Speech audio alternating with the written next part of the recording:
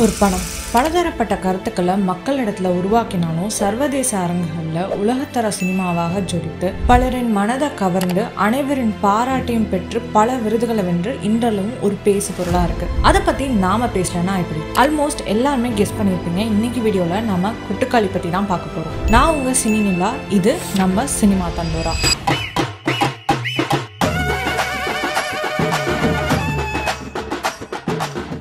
SK productions தயாரிப்பில் இயக்குனர் வினோத் ராஜ் இயக்கி சூரி மற்றும் அனபென் நடிப்பில் வெளிவந்த படம் கொட்டுக்காளி. இந்த படம் பெர்லின் இன்டர்நேஷனல் ஃபிலிம் ஃபெஸ்டிவலில் ஸ்க்ரீன் செய்யப்பட்டது. அது மட்டும் இல்லாமல் Toronto international film ஃபெஸ்டிவலில் special jury award Portugal film ஃபெஸ்டிவலில் golden lynx award for best feature film Amar atom international film ஃபெஸ்டிவலில் கிராண்ட் பிரிக்ஸ் அவார்ட் உள்ளிட்ட பல விருதுகளை இந்த படம் வென்றிருக்கு. அது மட்டும் இல்லாமல் இந்த படத்தை ஃபிலிம் ஃபெஸ்டிவலில் பார்த்து பலருமே பாராட்டியிருந்தாங்க. இந்த படத்தோட ட்ரெய்லர் ரிலீஸ் ஆன போது பலருமே இதை எதிர்பார்த்துட்டு இருந்தாங்க. இந்த எதிர்பார்ப்புக்கு ரெண்டு முக்கிய காரணங்கள் இருக்கு. ஒன்று இந்த படத்துல எந்த இசையும் இல்லை. அது மட்டும் இல்லாம லைவ் சவுண்டை பயன்படுத்தியிருப்பாங்க. இப்படி திமிரு பிடிச்ச முட்டையை கட்டிட்டு நல்லா வாழ்ந்துட்டோம்னு நினைக்கிறேன்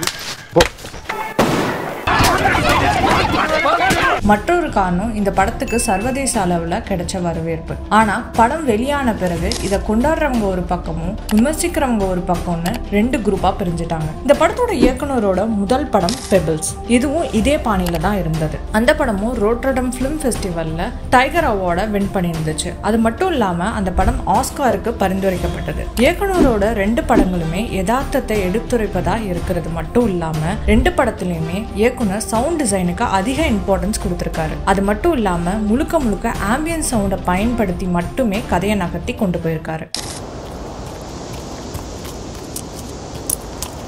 கொட்டுக்காலியில் கூடுதலாக ஒரு சிறப்பு இருக்கு. அது என்னன்னா இந்த படத்தோட கிளைமேக்ஸ் ஓப்பன் எண்டிங் அந்த கிளைமேக்ஸை நம்மக்கிட்டே இயக்குனர் விட்டுருக்காரு. இதுவே பல விவாதங்களை ஏற்படுத்தி இருந்தது. இயக்குனர் இப்படி ஓப்பன் எண்டிங் கிளைமேக்ஸ் வச்சதுக்கு காரணம் படம் முடிந்த பிறகு ஒரு டிஸ்கஷனை உருவாக்கணும் தான் இதை அவரே பல இன்டர்வியூஸ்ல சொல்லியிருந்தாரு. இதையெல்லாம் வச்சு பார்க்கும்போது இதை ஒரு பேரலல் சினிமான்னு சொல்லலாம். மெயின் ஸ்ட்ரீமுக்கு மாறா நைன்டீன் ஃபிஃப்டிஸில் இந்த மாதிரியான சினிமா உருவாக ஆரம்பிச்சது. இந்த மூமெண்ட் முதல் முறையா பெங்காலி சினிமால தான் தொடங்குச்சு. பேரல் சினிமால படங்கள் பெரும்பாலும் சொசைட்டியில் நடக்கிற கரப்ஷன் மூட நம்பிக்கை கேஸ்ட் ரிலேட்டட் இஷ்யூ ஆண் பெண் வேற்றுமை போன்ற விஷயங்களை தான் மையமா வச்சு கதைகளை உருவாக்குவாங்க. இந்த மாதிரியான படங்கள் அன்கன்வென்ஷனல் ஸ்டோரி டெல்லிங்காக ஃபாலோ பண்ணும். அது மட்டும் இல்லாம இந்த படங்கள் மெயினா ஃபோக்கஸ் பண்றது ரியலிசம்ல தான். இந்த படங்கள் தான் ஃபிலிம் மேக்கிங்கை அடுத்த லெவலுக்கு எலவேட் பண்ணுச்சுன்னே சொல்லலாம். இந்த மாதிரியான படங்கள்ல நிறைய long shots close ups use பண்ணியிருப்பாங்க அது மட்டும் இல்லாம மோஸ்ட்லி ரூரல் செட்டப்ல அமைஞ்சிருக்க மாதிரி தான் கதை இருக்கும்.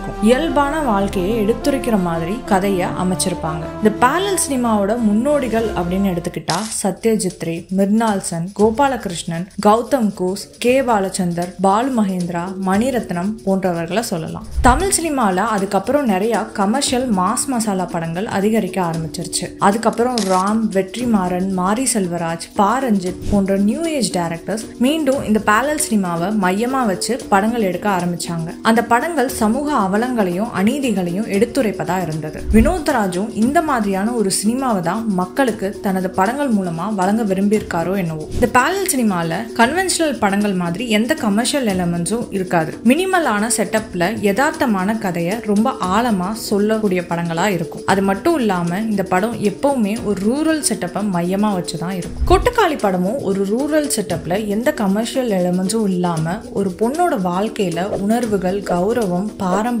குடும்ப பொறுப்புகள் மூட நம்பிக்கை மற்றும் ஆணாதிக்கம் எப்படிப்பட்ட தாக்கத்தை ஏற்படுத்துது? அவளுடைய தனிப்பட்ட ஆசைகளுக்கும் இவற்றுக்கும் இடையில அவ எப்படி சிக்கி தவிக்கிறா அப்படிங்கிறத ரொம்ப டெப்தா அழகா காட்டியிருப்பாங்க. அதுல இருந்து அவ எப்படி மீண்டு வராங்கிறத நம்மக்கிட்டேயே ஒரு கேள்வியா முன்னெடுத்து வச்சிருப்பாங்க. நம்ம எல்லாருமே ஒரே மாதிரியான படங்களை பார்த்து அதுக்கு டியூன் ஆயிட்டோம். அதனால இந்த மாதிரியான படங்களை ஏத்துக்கிறதுக்கு கொஞ்சம் கூடுதல் நேரம் தேவைப்படுது. இந்த மாதிரியான படங்கள் அதிகரிச்சாதான் நம்ம ரசனை இன்னும் மேம்படும். இது போன்ற படங்களுக்கு வெளிநாடுகளில் அதிக வரவேற்பு கிடைக்கிறத நம்மளால பார்க்க முடியுது. ஆனால் நம்ம ஊரில் இந்த படங்களுக்கு அவ்வளோ அதிக வரவேற்பு கிடைக்கிறது கிடையாது. உதாரணத்துக்கு கொட்டுக்காளியே எடுத்துக்கோங்க. இந்த படத்துக்கு வெளிநாட்டில் நல்ல வரவேற்பு இருந்தாலும் இங்க சிலருக்கு இந்த படம் பிடிக்கல. அதனால இங்க ஒரு கேள்வி எழுது. இது நம்ம ஆடியன்ஸ்க்கான படம் இல்லையோன்னு. ஆனால் அப்படி முழுமையா சொல்லிட முடியாது. ஏன்னா இந்த மாதிரியான படங்களை விரும்புகிற ஆடியன்ஸும் இங்க இருக்காங்க. அவங்களுக்கு இந்த படம் பிடிச்சிருக்கு. நம்ம நாட்டில் பலதரப்பட்ட பலவிதமான ரசனையுடைய ஆடியன்ஸ் இருக்காங்க. ஒரு படம் எல்லாரையுமே சாட்டிஸ்ஃபை பண்ண முடியாதுங்கிறது தான் உண்மை. இந்த படங்களை பார்த்து கொண்டாடுறவங்க அதி புத்திசாலியும் கிடையாது.